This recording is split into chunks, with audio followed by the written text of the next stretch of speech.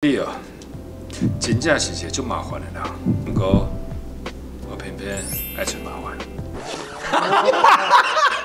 你是倒位人新加坡人，？No，你是我台湾小孩。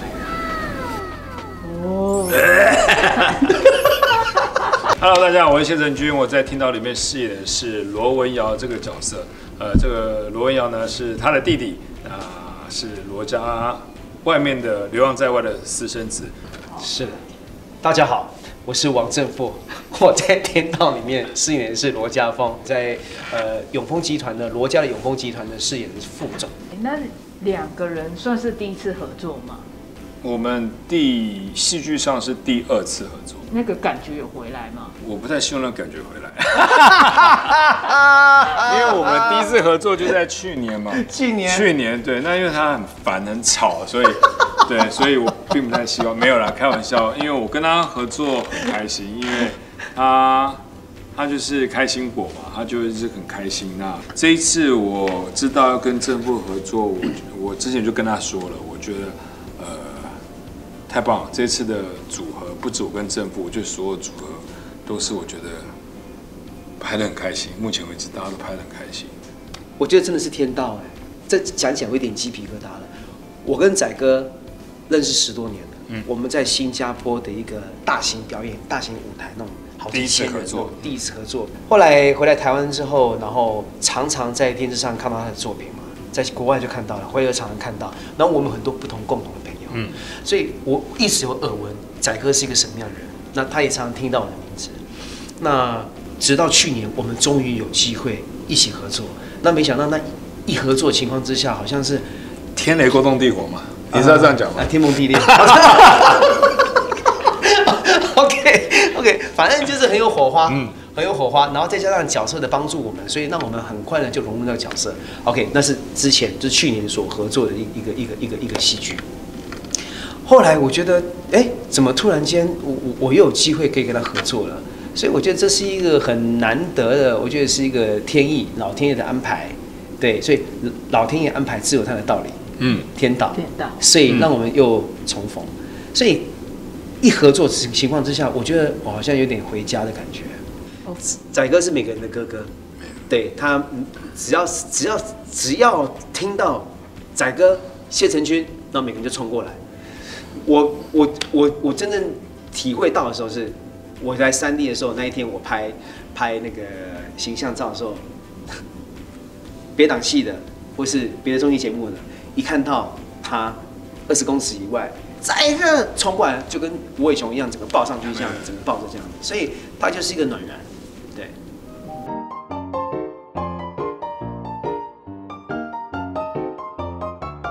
好，是，哦还好你们有分配好。用我自己方法讲的话，我觉得他应该会先离席。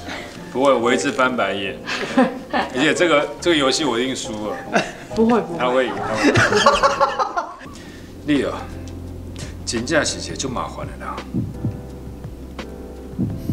啊，不过我偏偏爱找麻烦。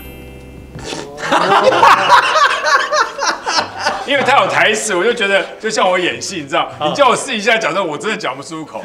OK 我又不是他。哎，人家多爱我啊！好，换换你，换你。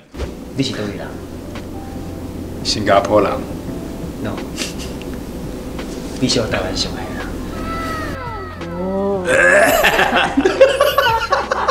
他平常就会这样子，他在戏外又常常会会这样闹我。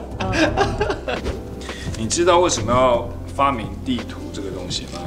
不知道，因为我在你心里迷了路。是啊，我是啊。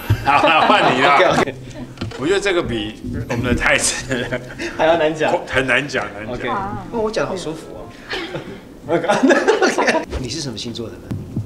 母羊座，你呢？我是为你量身定做，哦，其实我是天秤座。我是母羊座，我知道，母羊座啊啊！你再问我一次，什么星座？你是什么星？啊，我问你啊，对，你是什么星座？欢迎你哦。很烦呢。你想那么害我啊？我海狸小蜜，你这个声音我就软下来。好，再一次，再一次。哎，什么叫海我啊？我海里什么？你好，叫你尬里啊？我跟你讲，你这个你你这个人跑掉了。第一点就沟通啊。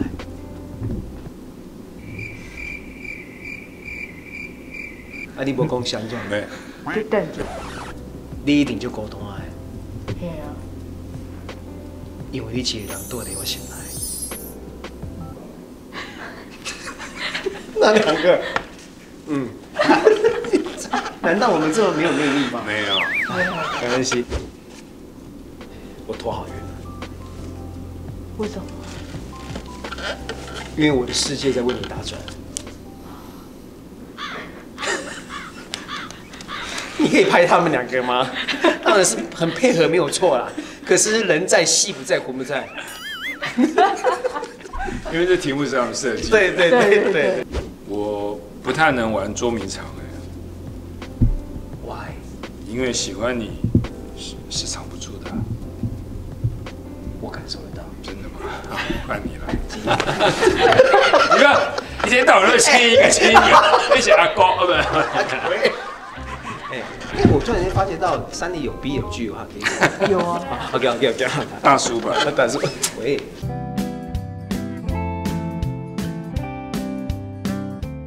呃，剧组里面偶包谁最重？哦，这个我不能讲哦，这个这个指导也不能讲哦，这个很伤人的哦。偶包谁？哇，这个很伤人的，这个不能讲，这个不可以讲。那我换一个。对啊，这个不能讲，那个玉石，你问叫玉石，叫玉石来回答啊。这是好玩的一个。不行不行，我很认真的。哎，我第一次进来，我很认真的回答这些问题，很认真。讲罗家好了，好，好吧？罗家罗家，罗家好。对，阿兄啊，